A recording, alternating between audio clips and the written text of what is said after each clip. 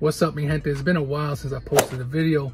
I've been busy, but I'm gonna do a video today because I actually just purchased a new bicycle and I ordered a bike rack and it actually just came in today. If you've been following me, you know I have a Tesla Model Y. I actually purchased it with the tow package. I never used it. So if you're interested in buying a Model Y with the tow package, stay tuned for this video because I'm gonna pop the panel in the back and I'm going to also show you the install of my bike rack. All right, so if you're taking delivery of your Model Y and you purchase the tow hitch package, make sure you have the tow hitch. One way of finding out is go into your controls, hit pedals and steering, scroll down, and you should see trailer mode.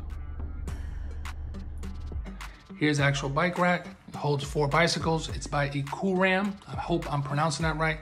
I'm not sponsored by them or anything.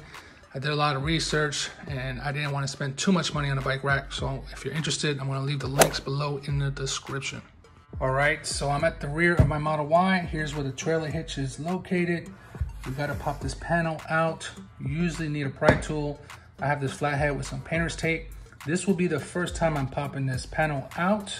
So if you're taking delivery of your Model Y, make sure you have one of those pry tools or a flathead with some tape on it to prevent any scratching. Let's pop this bad boy out.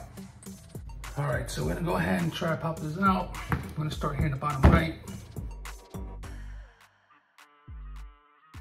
It was that easy. So you see the clips? The uh, hitch, it is two inches. Here's the actual receiver. So let's put this bike rack on.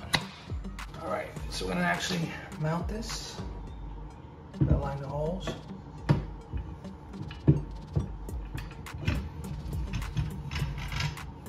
All right, so the last step here is to securely fasten the bike rack to the trailer hitch.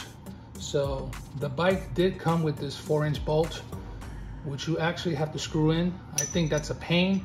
So I went ahead on Amazon and bought this. Comes with the pin. It's way easier, it's way quicker. I'll leave the link in the descriptions as well. See it's inserted. I'm just gonna lock it down with the pin. Go. Nice and secure. So one of the good features of this bike rack is that if I need to get access to the trunk, all I gotta do is pop this pin, as you can see right here, pop this out, and this is going to pull down.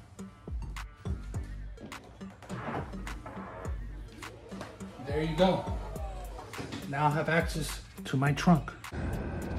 All right, so I actually ended up buying a bike for my sons. You know, as you can see, I have two bikes here. I'm not sure if I could get four bikes on. I probably could squeeze three, but um, as you can see, my bike is pretty big, XL frame. Um, this is supposed to hold four. See, I have two more here.